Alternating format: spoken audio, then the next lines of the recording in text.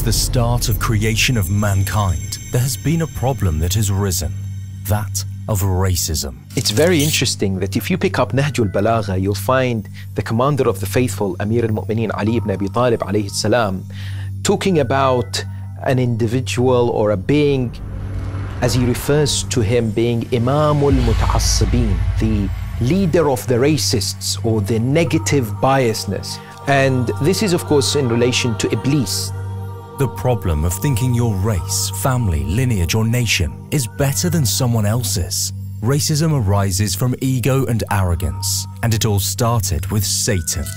Allah made it very clear. The first racist is Shaitan. Chapter 7 of the Quran says, Allah said, What prevented you from prostrating when I commanded you? Satan said, I am better than him. You created me from fire and created him from clay. And therefore, today, every single racist and every single individual who causes and practices form of racial prejudice is following in the footsteps of Satan. We are oppressed. We are exploited. We are downtrodden. We are denied not only civil rights, but even human rights. Prejudice and discrimination against different races rises from ignorance. No one is born racist. So why do they grow up to be racist? What drives a person to think that they are better than someone just because of their skin color? And I, for one, as a Muslim, believe that the white man is intelligent enough. If he were made to realize how black people really feel and how fed up we are without that old compromise and sweet talk, tell him how you feel. What factors influences an individual to become a racist because in this context we are discussing racism. Number one is environment. At the same time, uh, racism can be enforced by the media, stereotypes, personal experiences, or in fact, generalization. What does Islam say about racism? We know that the Prophet Muhammad, peace and salutations be upon him and his progeny, lived in a difficult time. The aristocrats of Quraysh no doubt thought they were a class better than everyone else. Discrimination against non-Arabs was present. Yet, Islam was a religion that did not distinguish people according to their race.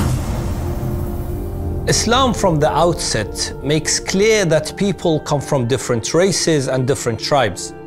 There are even discussions concerning how prophets have gone to people of different races and different tribes, and therefore what differentiates human being is their level of awareness of God in their life.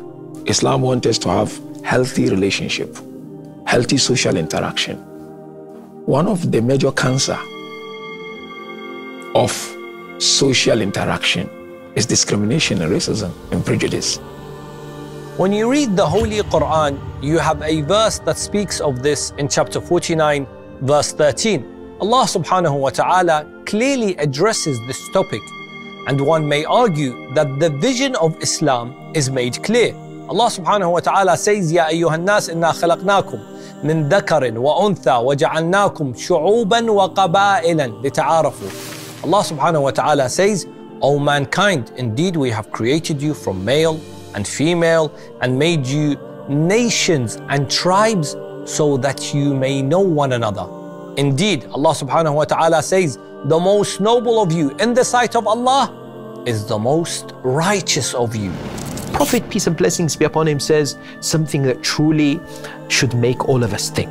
Anybody who on the day of judgment has an atom weight of racism or extremism in their heart, God the Almighty resurrects them on the day of Qiyamah with the pagans at the time of the ignorant, the Jahiliyyah. The verse in chapter 49 is very clear. Made you tribes so that you may know one another. Islam actually wants the communities within Arabia and its outskirts to actually, for the first time, not look down at each other because of race or because of tribal background, but actually for the first time try to sit together and get to know one another. Some of these Arabs, for example, would have never sat with an Abyssinian slave, and all of a sudden They are seeing the emergence of Islam symbolized by the Prophet wasallam, who is sitting with a slave, eating with a slave, and he is actually welcoming them and giving them a source of life and is acknowledging them. He is actually willing to acknowledge the humanity of the fellow citizens. He is not looking at the color of their skin or what tribe they are from or any labels they confess to. He is looking at them as his fellow human being. So, this is to say, there is no room within the religion of Islam for racism and discrimination. Then the second part of this holy verse says, The most noble of you in the sight of Allah is the most righteous of you, the one that has taqwa. Allah did not say the best amongst you is the Arab or the Persian or the Roman or the African. No, the best amongst you is the one who has taqwa because taqwa should ensure the eradication of those diseases which are causing you to hate or frown or look down at Allah's creatures. And another ayah which you know very well, Allah makes it very clear. وَمِنْ آيَاتِهِ خَلْقُ السَّمَاوَاتِ وَالْأَرْضِ وَاخْتِلَافُ أَلْسِنَتِكُمْ وَأَلْوَانِكُمْ Amongst the signs of Allah is the creation of the heaven and the earth. And he also said among the sign of Allah, because that word is harf al-atf, وَاخْتِلَافُ أَلْسِنَتِكُمْ وَأَلْوَانِكُمْ And the differences in your tongues, meaning languages, and your skin colors. If we are going to live in our own bubble, then that's going to breed ignorance. It may also breed diseases such as arrogance and even ego. So much so that this arrogance may mean that we will look down on others. Within the lifetime of the Holy Prophet, peace and blessings be upon him and his holy progeny, not only did he talk the talk, but he also walked the walk in that he was exemplary in ensuring that if he saw any form of racism before him, if he saw any form of discrimination, he would correct it. In fact, he would be stern against it.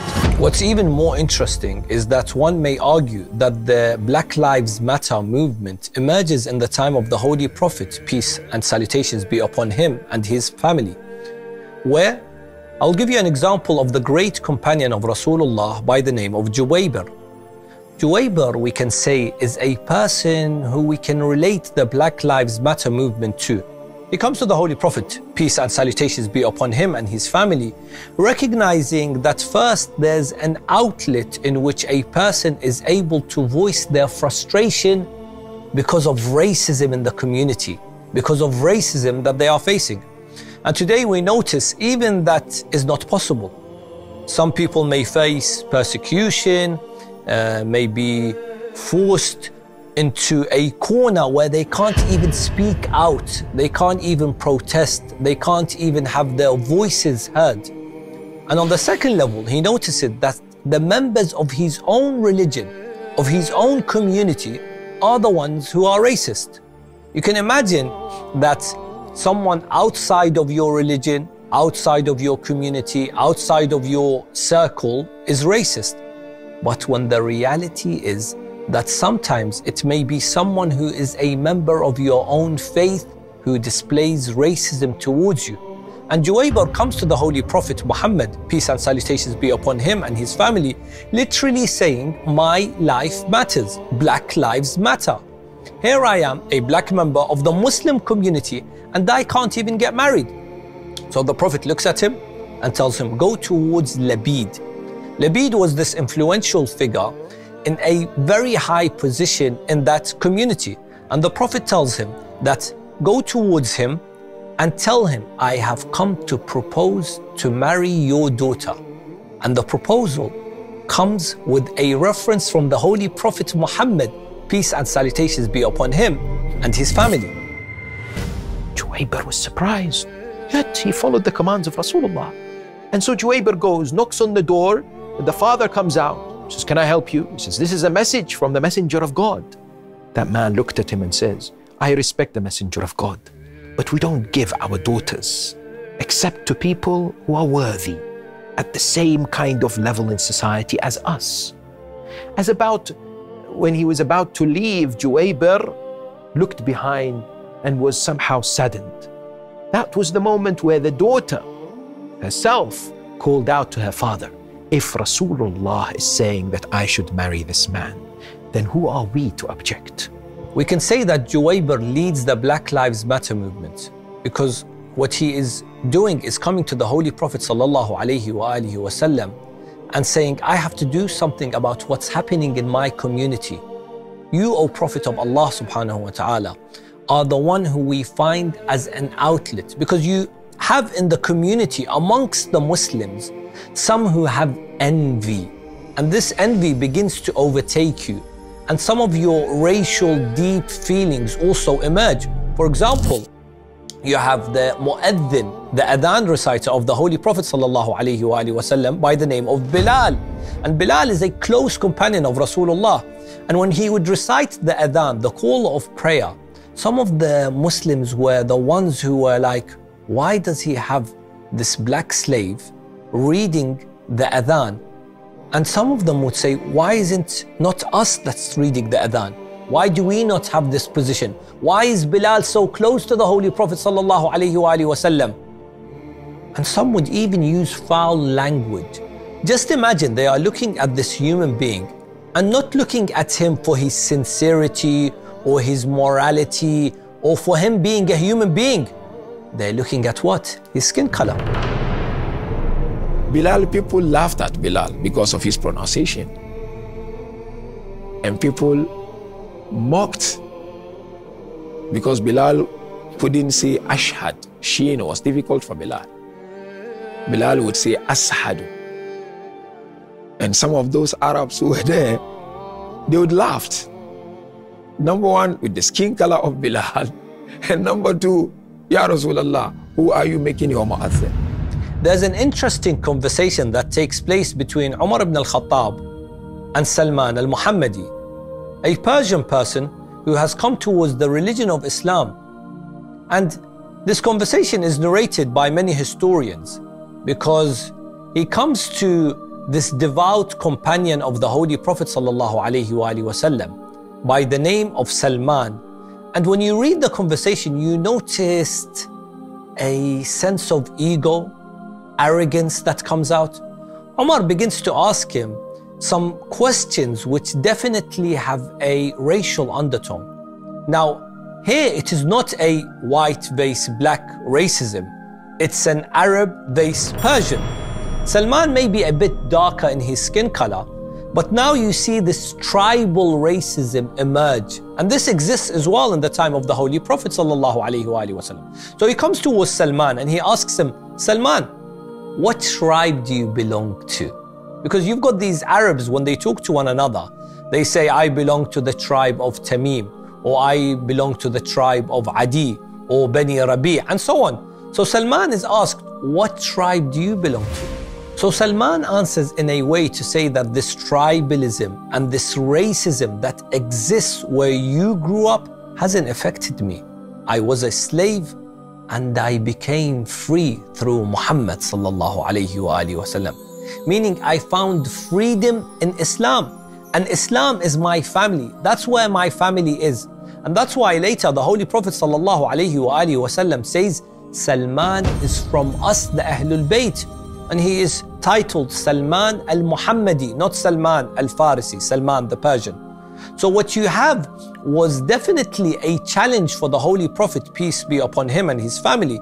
A challenge that the Arabs in those days did not understand. Why is he friendly to these colored people? Or why is he friendly to this black slave? Why is he, who is someone known to be an Arab from a famous tribe, sitting with these lower class people? And this was a challenge in his community. As there are many stories from Muslims, certain companions, racist against each other. And they are Muslims here. This is also seen in the time when the Holy Prophet has migrated to Medina. Not only seen in Mecca, but even in Medina, in his own mosque, this was seen.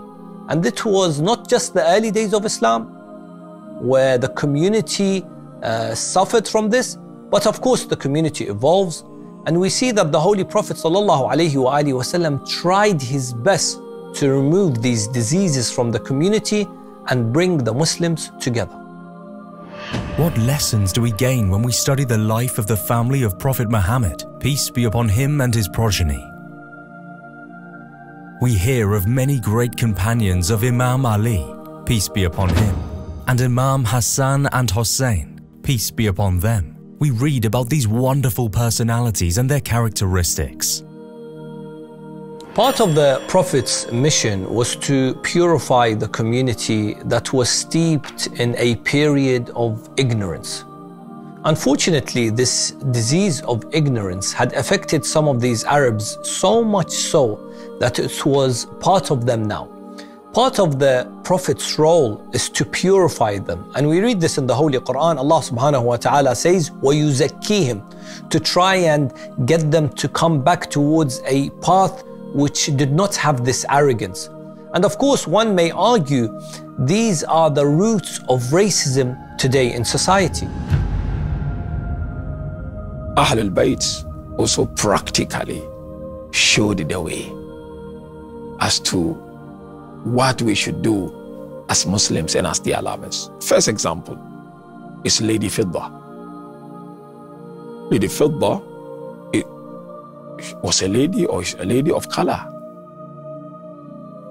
She was in the house of Imam Amir al-Mu'mineen and Fatima al-Zahra alayhim salam. Look at how Amir al-Mu'mineen and Bibi Fatima cherished and honored Lady Fidda in that house. At Karbala, you have companions of Imam al-Hussein, peace be upon him, from everywhere. There are examples of personalities alongside Imam al-Hussein alayhi salam who are personalities who become important in the discussion when we look at Black Lives Matter today. You have the famous companion, John. He has been around the household of the Holy Prophet, peace be upon him and his family, for a very long time. He has been with Imam Ali alayhi salam, he's been with Imam al Hassan alayhi salam, and now he is with Imam al Hussein, peace be upon them all, in Karbala and he plays a great role in this battle of Karbala, even at a very old age. Not only is he rising against oppression on the day of Ashura, there seems to be an element of him rising against what? Racism, and making it clear that Black Lives Matter on the day of Ashura. How, you may ask? Let's look at his words before he dies, his poetry. He says, how do the disbelievers, and he's talking to those that are fighting him, how do the disbelievers view a strike of a black? What is he saying? He's saying to the enemy, a lot of you are arrogant because of your skin color. A lot of you are looking down upon me because of my skin color. A lot of you and your forefathers were racist against Bilal a lot of you are racist today. So he says, How do you view my strike on this day? I will use my sword to defend my master Hussein, defend his family, defend the principles of his grandfather Muhammad sallallahu wasallam, the legacy of his grandfather Muhammad. What legacy? That legacy of him trying to eradicate racism. I sacrifice myself in their mission with my tongue and with my hands. What does he say? All I want is to be with them in that heavenly abode.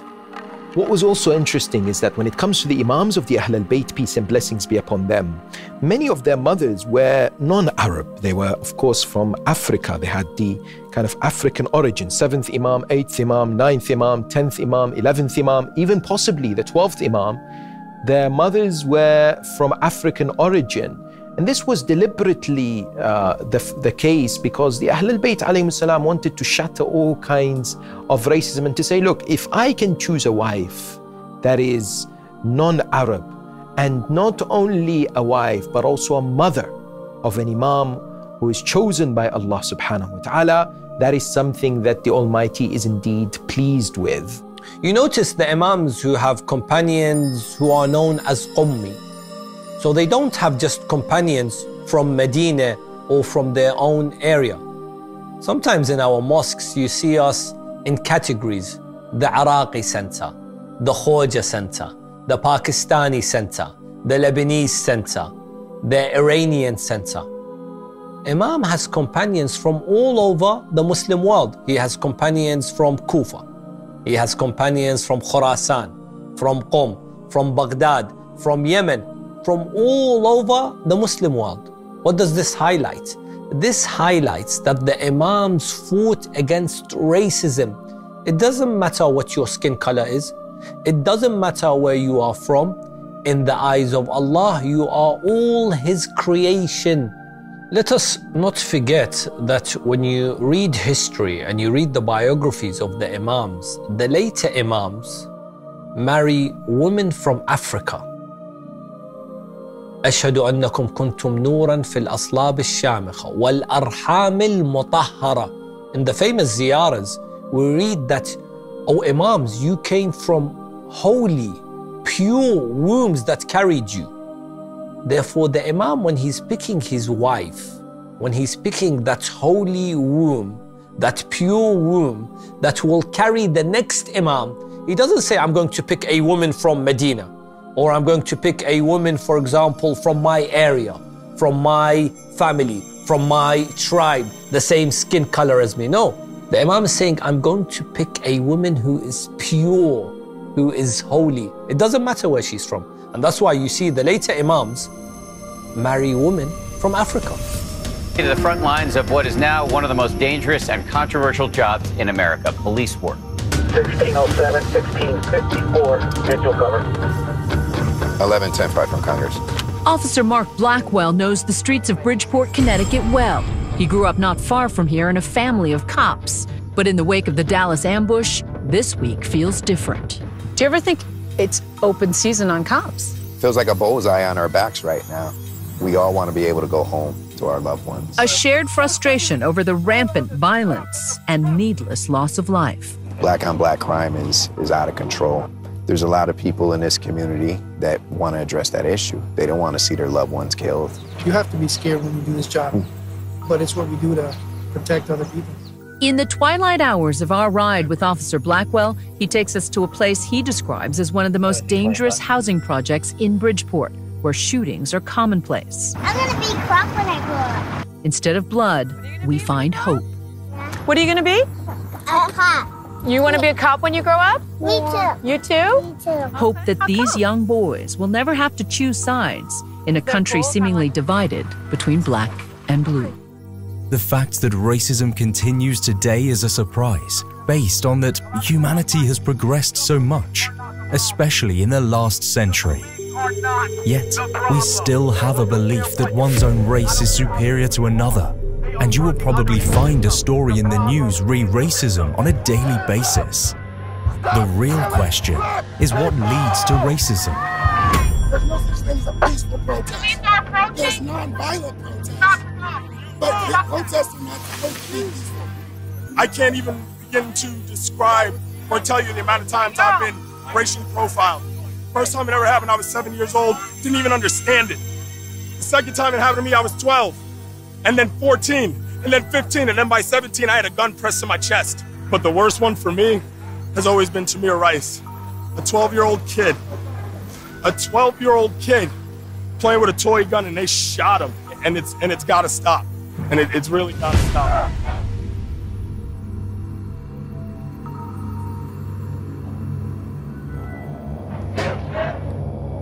I think I've been silent for too long, and uh, this is the first of many steps for me to uh, show my support, do what I can do, and use my white. When we look around the world today, we find that there are countries that unfortunately have what is known as systemic racism, deeply embedded, rooted within institutions, within organizations, which within the way people are treated based on their color, creed, religion, or indeed background. I don't think you can remove prejudice from human beings because we'll always have this prejudice in us, going back to shaitan we mentioned before. But it's the power behind the prejudice. So I might not like another person because maybe he's got a better job than me or he's he's taller than me or he's handsome. I may not want to marry my daughter to this particular person because he's not of my tribe. That's not necessarily a bad thing. But it's when you institutionalize it, when you make it the modus operandi of the system that you're in, that's the problem. When you ask white English people about the nature of institutionalized racism, it's largely denied and, uh, and reduced. Uh, but in essence, you're asking a fish to explain water. It's all about its environment. It, it can't see it, but it's everywhere. It's like air. Uh, and that's the nature of institutionalized racism. Now, racism is defined in a political acumen as prejudice plus power. That means I may not like you, I may have a prejudice towards you, but I don't have the power to determine your job and where you live, um, you know, your educational uh, abilities. I don't have the power to carry it out. I might just dislike you. So that so you can have a racist, but racism is a systemic system, which means that you have the power to carry out your prejudice and to actually affect the life of another human being. On the 25th of May, George Floyd, 46, died after being arrested by police outside a shop in Minneapolis, Minnesota. Mr. Floyd was arrested on suspicion of using a counterfeit note. Then, George Floyd was restrained by officers, while one of the officers placed his left knee between his head and neck. For 7 minutes and 46 seconds, Mr. Chauvin kept his knee on Mr. Floyd's neck. One of my homies died. You went back before these I'm about to die, you see. Relax. Man, I can't breathe my face. Just get up. Oh. Footage from nearby people show Mr. Floyd said more than 20 times he could not breathe as he was restrained. He was also pleading for his mother and begging, please, please, please. Get up, get in the car. Mama. Get up, we get in the car right. I can't. Get, get. At one point, Mr. Floyd gasps, You're going to kill me, man. Ah. Shut up. They gonna kill me. They gonna kill me, man. The death of George Floyd sparked protests in cities across the US and many parts of the world, many calling for justice after the death of African American George Floyd in police custody. It sums up 400 years of oppression, 400 years of feeling uh, disconnected, of being looked at in a, uh, in a negative way. And it sums up the fact that since my birth, I've not been able to breathe to, to a sigh of relief, to be able to live my life the way I want to live my life as a human being. So I, I can't breathe means I can't breathe economically, socially, politically, religiously. It means I'm not able to be me. I'm not able to breathe freely. I can't breathe is now a way of actually experiencing and understanding what would it be like to be choked? What would it be like to be not to be able to breathe? Every human being can understand that. You know, when you're when you when you can't breathe, you have your life choked out of you, and by by an oppressive force. So that police officer represented the weight of racism, prejudice, and evil, as we said, going back to Shaitan, of crushing the spirit and the humanity of a human being. So that was an example, a physical example of what it's like to be black in America, in U- England, and generally in the world. Injustice anywhere is a threat to justice everywhere. Wherever we see injustice, whether it's George Floyd or even someone else, irrespective if they are our brother in faith or equals in humanity, as Imam Ali, peace be upon him, has said, any injustice we noticed, we must find a way to speak out against this injustice. We cannot simply just sit back and say, I did not know who George Floyd was. When a person says, and we hear his words, I can't breathe. When a person says, I am hungry.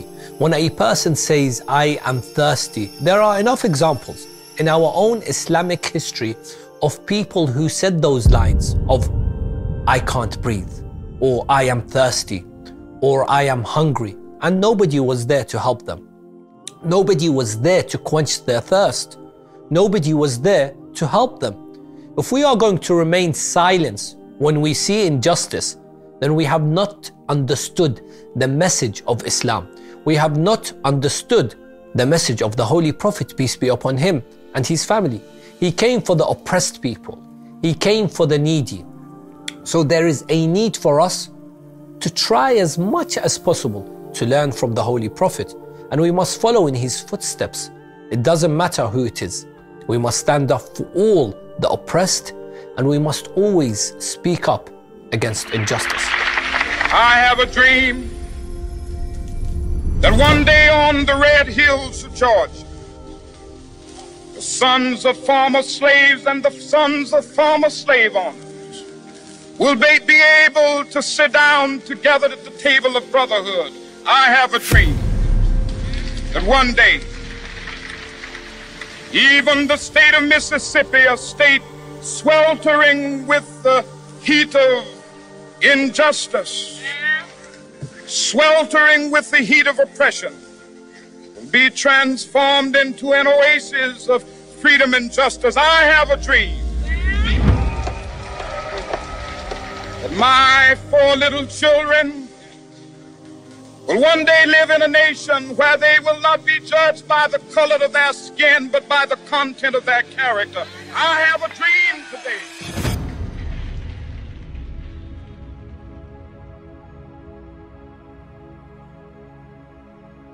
I think that this particular time it's been brought to a highlight with, you know, the tragic murder of George Floyd, George Floyd, and um, it's brought to a highlight.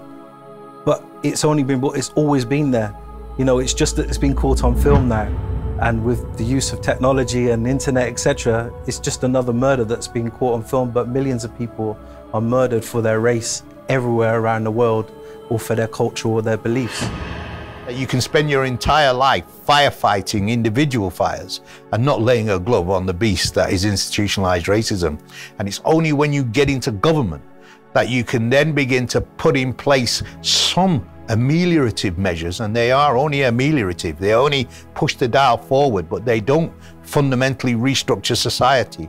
Uh, uh, that is the only thing that could lead to its ultimate elimination. So even in government, we could only make things a little better in certain areas uh, uh, and uh, gave, give people a strong political lead that at least in our mayoralty we were committed to doing what we can where we could on combating institutionalized racism. But is it embedded in government? You betcha. England's defeat has sent an expectant nation into mourning, but a minority of fans resorted to creating trouble. Three English players have been targeted with racist abuse on social media following their miss in the penalty shootout. Institutional racism, also known as systemic racism, is a form of racism that is embedded as normal practice within society or an organization. It can lead to such issues as discrimination in criminal justice, employment, housing, healthcare, political power, and education, among other issues. Racism of this kind, racism that infects the very structure of our society, is systemic racism. And at a glance, it may be difficult to detect. Since the election of Donald Trump, hate crimes have been on the rise. White supremacists have been emboldened. Anti-immigrant rhetoric has intensified. Many have condemned these awful examples of prejudice and bias and hate, but systemic racism is something different. It's less about violence or burning crosses than it is about everyday decisions made by people who may not even think of themselves as racist. As sociologist Eduardo Bonilla Silva has said, the main problem nowadays is not the folks with the hoods, but the folks dressed in suits. Systemic racism persists in our schools, offices, court system, police departments, and elsewhere. But why is this?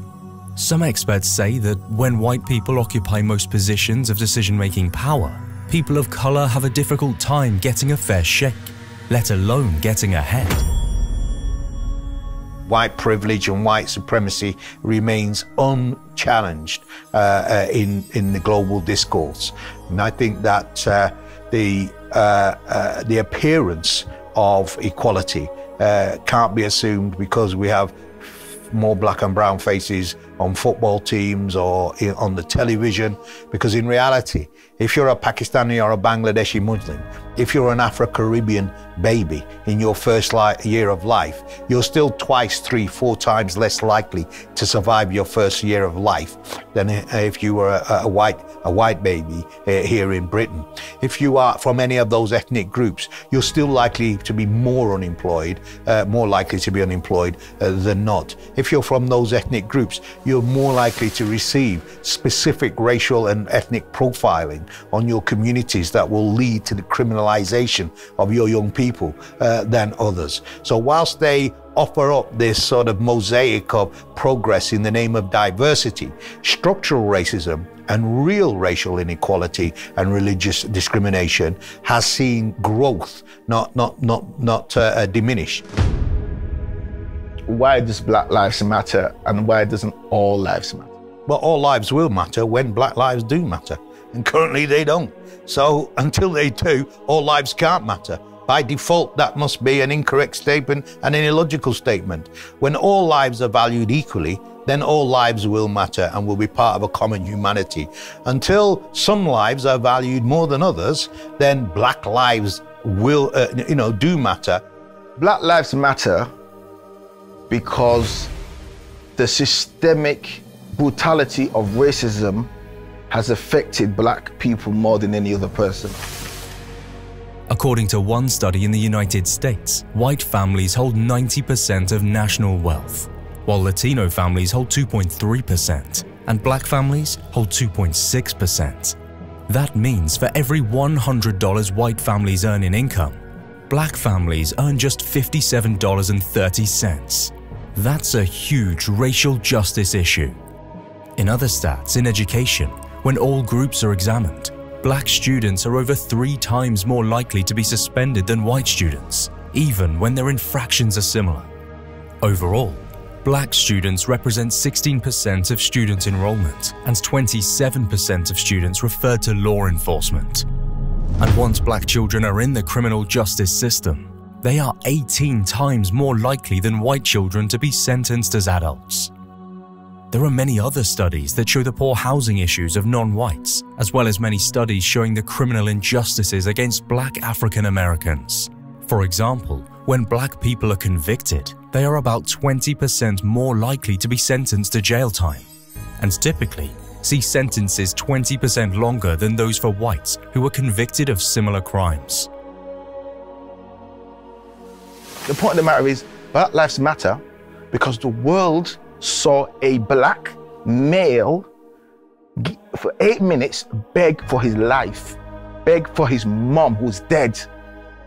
He defecated himself and urinated himself and vomited live. He was lynched. And lynching is in the history of America. Lynching and violence is as American as apple pie.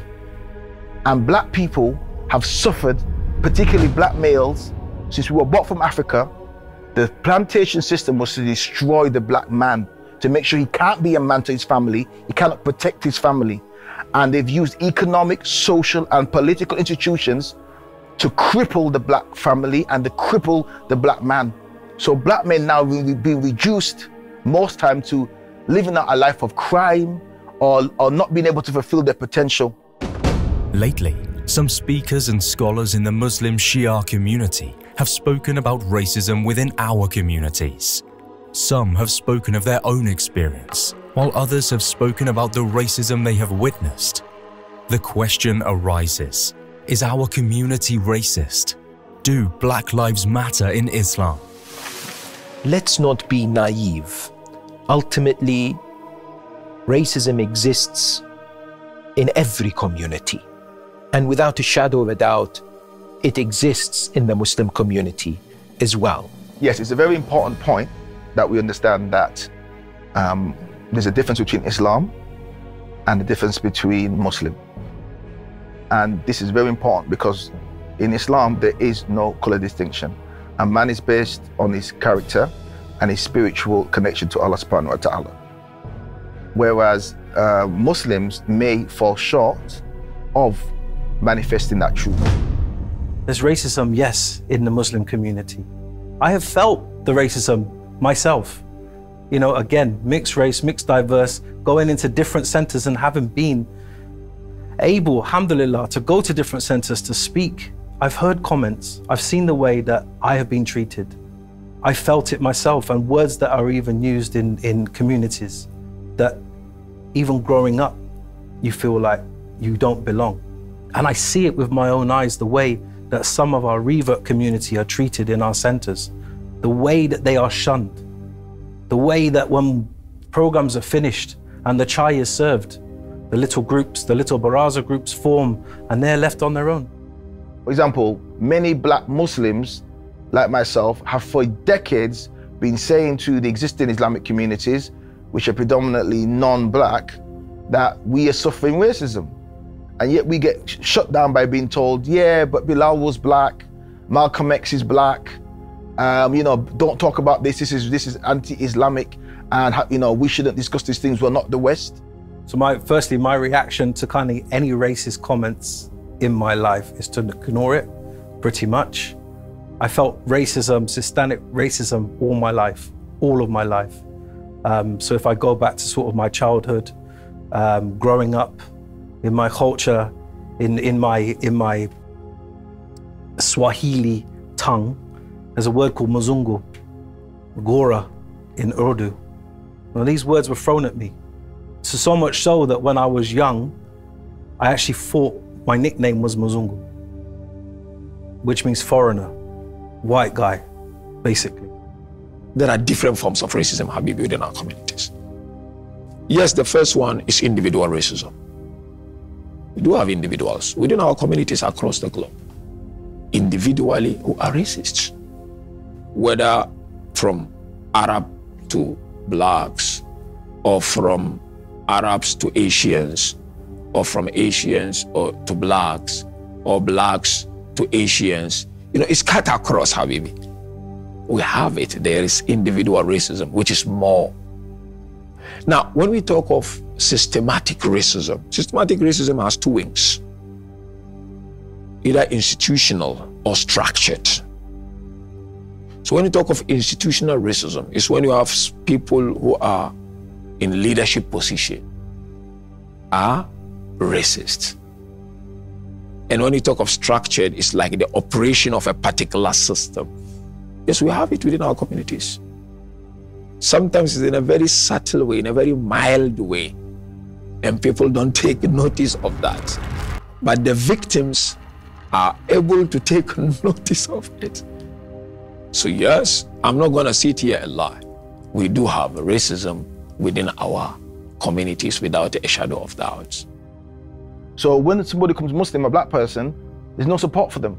You have to go back into basically, we're with non Muslims all the time because we haven't got a link with the existing community because our family's not Muslim, our friends are not Muslim, um, you know, our services are not Muslim. So what do you do if you're if you're a black Muslim and you become Muslim? You took shahada that day, but then you're, you're like a fish now that you know you you took it, you was taken out of the water and you're flopping about, but you're gonna go back into the water now because there's nothing else for you. And also as well, you know the burial situation. What happens when, you, when someone gets buried? It's, if you're not of that community, they're not gonna bury you because they've got burial services only for people of their community. So even in death, there's this separation. We as Muslims, as well as followers of the Ahl al Bayt, have been victims of dehumanization. We have been people who have been subjected to all kinds of terrorism and Islamophobia, as well as Shiaphobia. We should know very well that forms of racial prejudice, injustice, social oppression that exists out there is unacceptable. And that we must all be working together to try and identify areas within our practices, within our thoughts that we must reform. It is easy to be afraid of social reform. It is easy to be offended and be somehow defensive of oneself if somebody questions the existence of racism within our own communities. And the reason for that, the truth hurts. I think each person needs to ask themselves Are they following in the true teachings of the Holy Prophet, peace be upon him and his family? It simply starts with each individual. It makes me feel sad.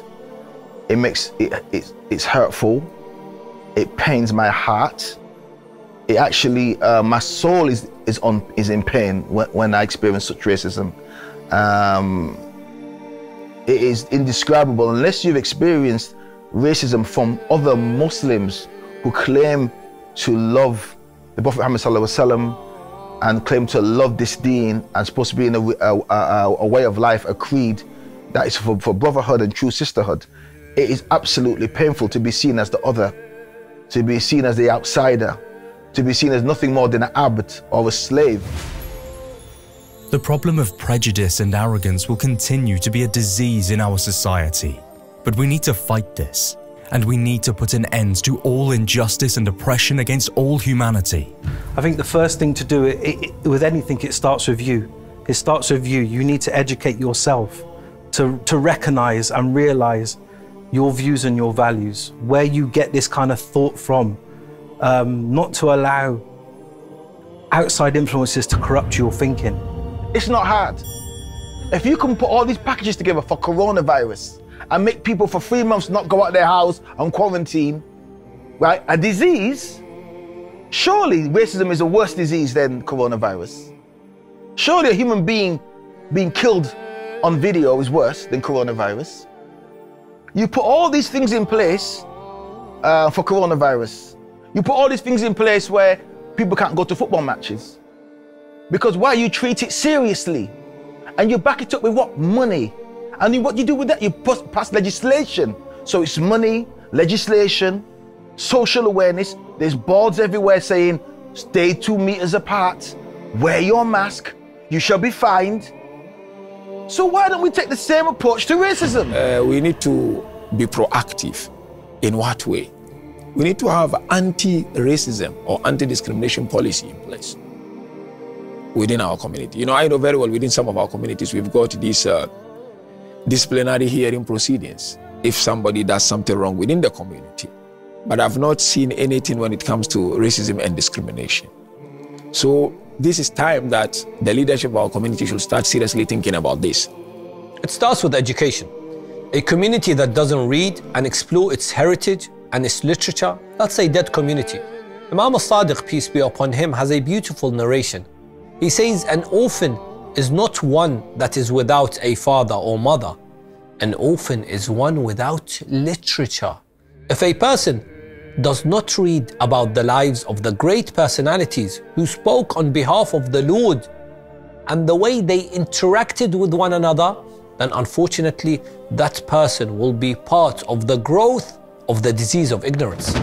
Combating racism within Muslim communities as well as the global wide scale phenomena, is the responsibility of each and every one of us.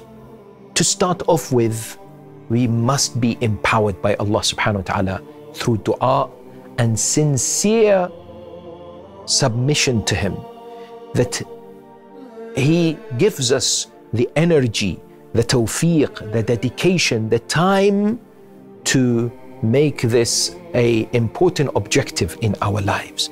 Collectively, if we come together, if we form organizations, if we support or, or existing organizations, change can and will take place and it must take place. We mustn't be left behind. We mustn't be individuals who just observe or just in our hearts think this is wrong. Enjoining the good and forbidding the evil must be exercised to the maximum and that is by changing things through our own hands, making a difference in society, leading by example, because our teachings command us to do so. There needs to be a lot of interaction with members of other communities who love the word of Allah, who love the word of the Lord.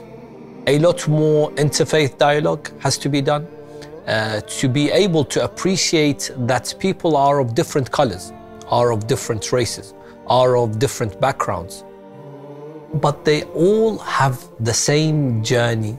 They have the same journey as us. And even within our own school, there needs to be a lot more interaction. For example, different Shia centers can come together once a year as one community the Pakistani, the Iraqi, the Khoja, uh, the Iranian community, and other communities. Especially even the converts within our community, they need to be invited to our mosques. As Muslims, as Shia, we need more interaction for the sake of fighting racism. Famously, in a quote of Imam Hussein, peace be upon him, he said, Be afraid of opposing the one who has no defender except God.